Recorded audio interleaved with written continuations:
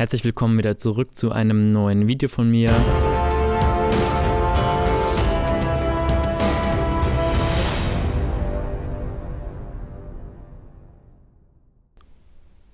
Herzlich willkommen zu einem neuen Video aus meiner Reihe Photoshop für Anfänger. In den letzten Videos habe ich ja schon einiges erklärt zum Thema Ebenen, Ebenenmodus, Einstellungsebenen und so weiter.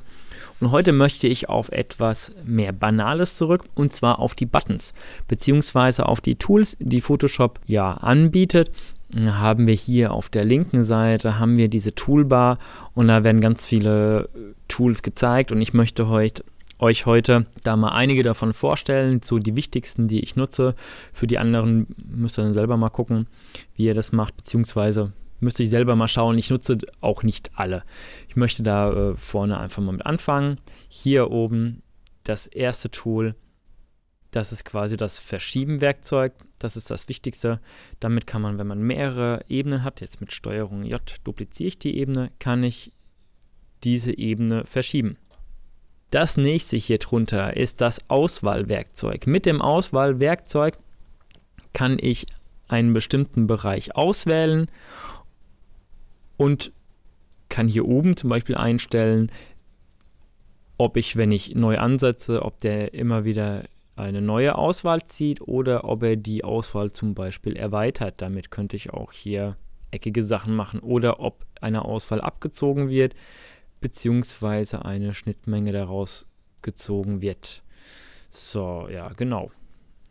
Dann gibt es da natürlich auch noch ein Ellipse-Werkzeug, das macht das Ganze rund. So, jetzt würde man sagen, ja, Ellipse ist schön, aber ich brauche ja vielleicht einen Kreis.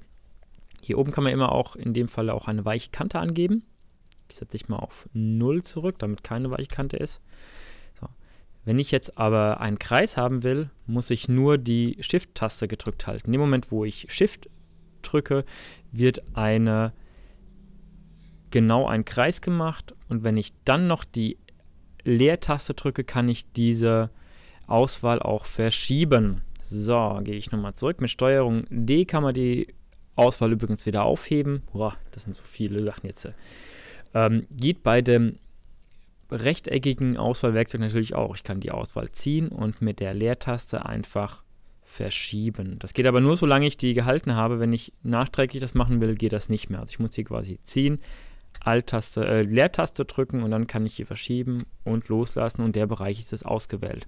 Wenn ich jetzt diesen Bereich kopieren möchte zum Beispiel, muss ich nur Steuerung J drücken, dann kopiert er mir auch wirklich nur, wie man hier sieht, nur diesen Bereich, den ich gerade ausgewählt habe. Ich lösche das jetzt einfach mal. Ja, genau. Das nächste ist hier auch noch ein Auswahlwerkzeug und zwar das Lasso. Mit dem Lasso kann ich selbstständig malen und je nachdem, wie ich male, so wird auch meine Auswahl gemacht. Steuerung D hebt die Auswahl wieder auf.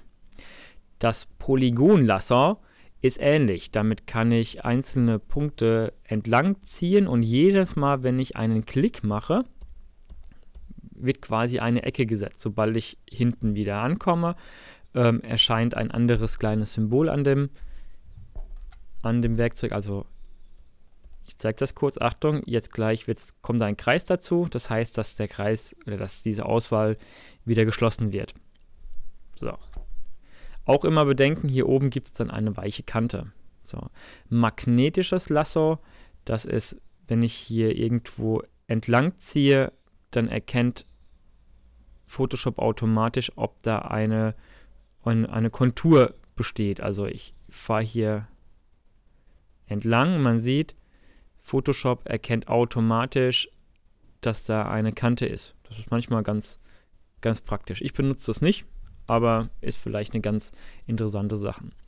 Dann, was ich persönlich ganz häufig nutze, ist hier das Schnellauswahlwerkzeug. Damit kann man mit der Alt-Taste kann ich die Größe ändern und kann hier einfach entlangfahren und Photoshop erkennt automatisch, wo Kontraste sind. Ähnlich ein bisschen wie das Magnetlasso, nur ein bisschen komfortabler. Hier in, in, dem Fall ist das ein bisschen schwierig, weil die Kontraste nicht so eindeutig sind. Aber wenn ich jetzt nur die, wenn ich zum Beispiel nur die Peperoni auswählen möchte, dann mache ich den Pinsel etwas kleiner dann, fahre hier entlang und Photoshop erkennt, wo ungefähr diese Peperoni ist. Wenn ich sage, okay, aber den Schatten wollte ich nicht mit dabei haben, dann kann ich mit der Alt-Taste auf ein Minus gehen, also dann kommt ein Minus raus und dann ziehe ich entsprechend wieder die Auswahl ab. Das ist super. Zum Thema Auswahlen und Verbessern von Auswahlen und Freistellen vor allem, also dass man gewisse Dinge freistellt von dem Hintergrund, komme ich auf einem separaten Video mal dazu. Das äh, wäre jetzt hier ein bisschen zu umfangreich, wird wahrscheinlich eh schon sehr umfangreich werden. So, als nächstes ist das Crop Tool, das Zuschneider- oder Freistellungswerkzeug nennt sich das. Damit kann ich ein Bild zuschneiden. Jetzt kann ich hier angeben, ob die außen liegenden Pixel gelöscht werden sollen. Das heißt, wenn ich das jetzt kleiner mache und bestätige das, dann ist das Bild auch wirklich kleiner, was es hier auch sein soll. Ich mache das nochmal rückgängig. Wenn ich, diesen, wenn ich den Haken nicht setze, kann ich hier das Bild trotzdem kleiner machen, kann jederzeit aber wieder reinklicken und könnte es doch wieder ein Stückchen größer machen. Auch wenn ich es bestätigt habe, kann ich auch dann später nochmal reingehen und kann dann immer nochmal größer machen. Habe ich diesen Haken gesetzt, dann ist das wirklich weg, weil wenn ich reingehe, will es größer machen, dann ist da nichts mehr. Also das ist der größte Unterschied ähm, dabei. Das sollte man so ein bisschen, das sollte man so ein bisschen im Kopf haben. Als nächstes haben wir hier die Pipette. Die Pipette, damit kann ich eine Farbe aufnehmen kann ich einen genauen Farbton finden. Der ist manchmal ganz wichtig, wird hier unten dann angezeigt bei, den, bei der Vordergrund- und Hintergrundfarbe. Die kann ich übrigens mit diesem kleinen Pfeil, wenn ich da draufklicke, kann ich die Vordergrund- und Hintergrundfarbe ändern. So, als nächstes haben wir hier die Bereichsreparaturwerkzeuge. Davon gibt es mehrere. Ich persönlich nutze eigentlich nur eins. Das ist hier der Bereich Pinsel.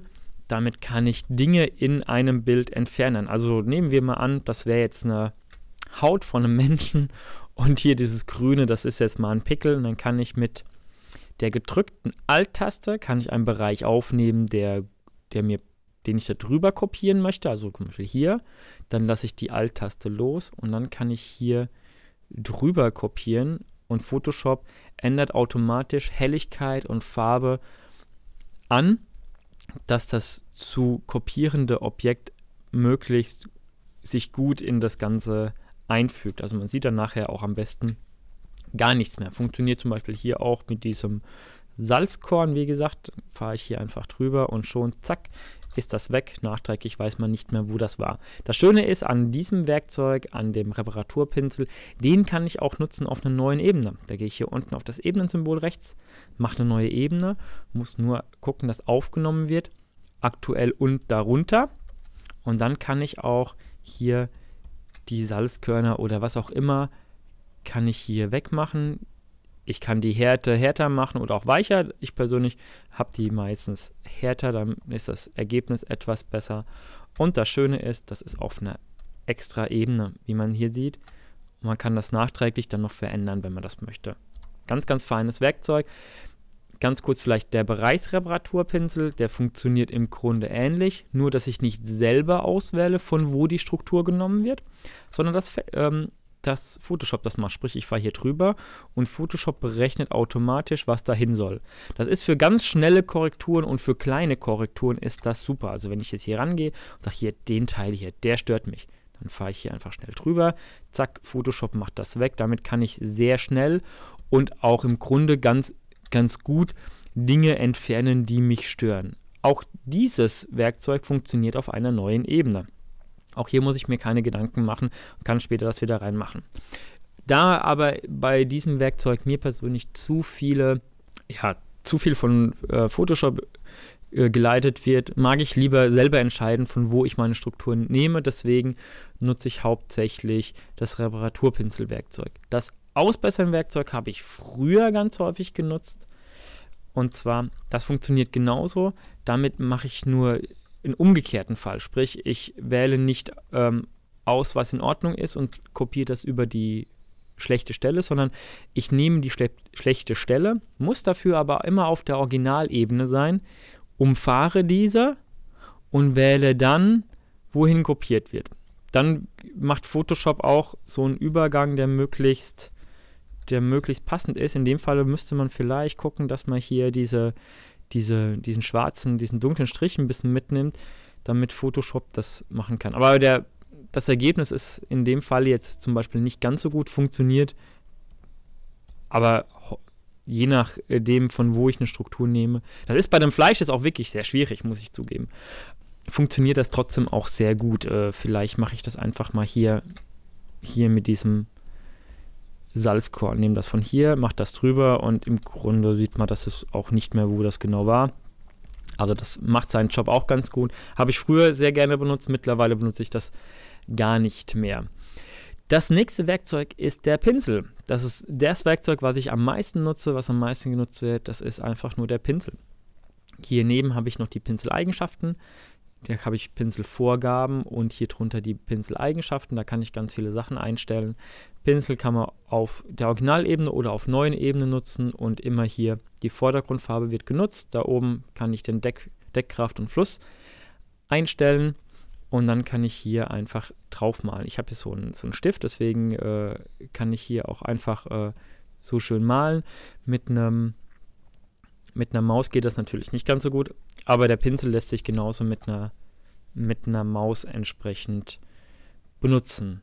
So, ich denke mal, ich weiß jetzt nicht genau, wie viel Zeit es schon rum ist, aber ich würde hier einen Cut machen und würde in, im nächsten Video dann die weiteren Werkzeuge erklären oder einige weitere Werkzeuge, dass es einfach nicht zu viel auf einmal wird.